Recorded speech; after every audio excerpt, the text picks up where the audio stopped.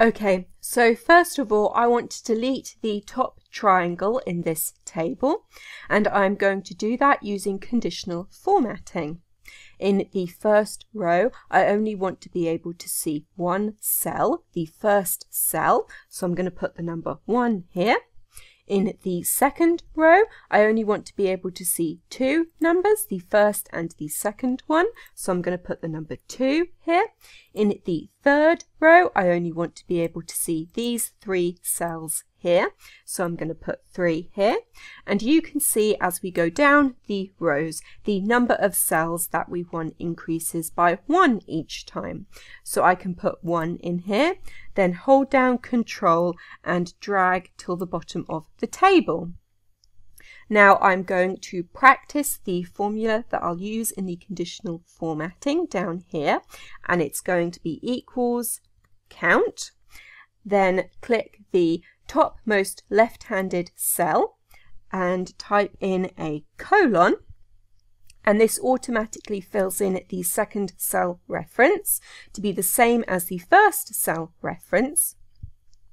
And in my case, I want the second cell reference to be a relative reference, but the first cell reference to be an absolute reference. So I'm going to press F4 to insert the dollar signs just in front of the column letter and then close brackets and enter.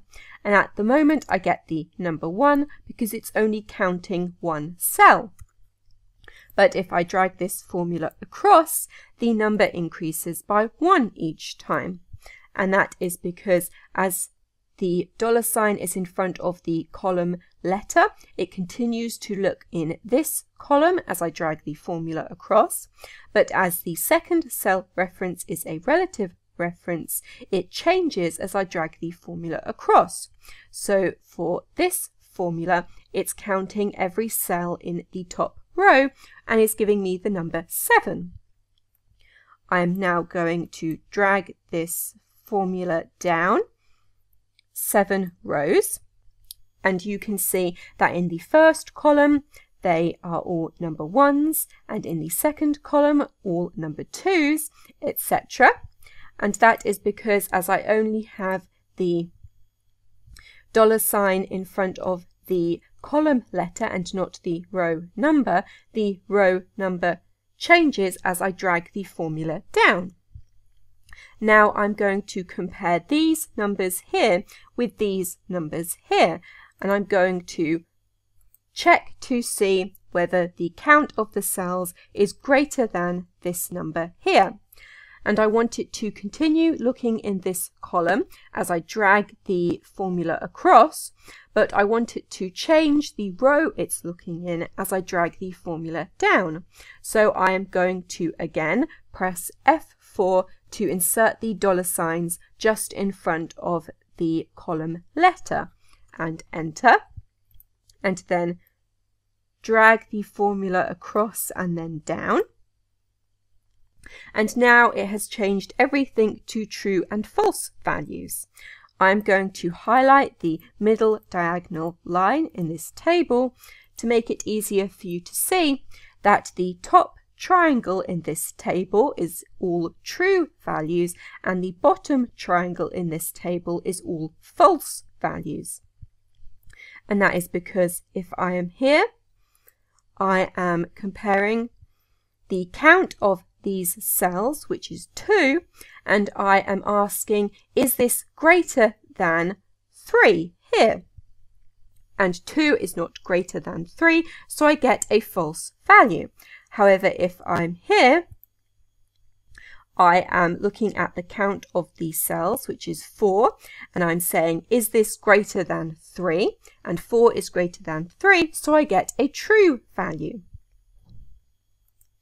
Now that I have my formula the way I want it, I'm going to go into the topmost left-handed cell of the table and highlight the formula and copy it and then press escape to get out of this cell.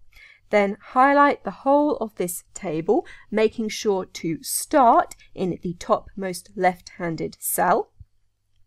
then go to Home and Conditional Formatting and New Rule and use a formula to determine which cells to format.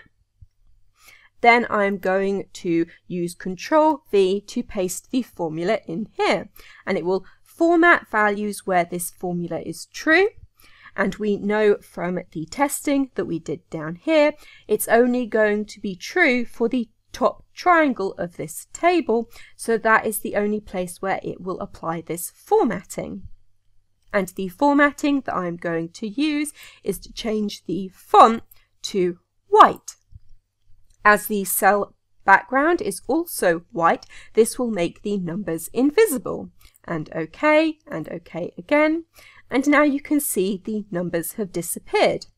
If I click in one of these cells, the numbers are still there as they appear in the formula bar, we just can't see them in the table. There is a limitation of this, which is that if the cell background changes colour, we can then see the text as the text is white. So there is a variation of this method, I'm going to go back to conditional formatting and manage rules and edit rule and I'm going to change the formatting. Instead of changing the font color this time, I'm going to change the number formatting. I'm going to use custom number formatting and it is going to be semicolon, semicolon, semicolon. Three semicolons tells Excel not to show you the numbers and OK, OK, then apply, and then OK again. And now you can see even in the highlighted cells, the numbers aren't visible, but we can still see them in the formula bar. Okay, and that is everything.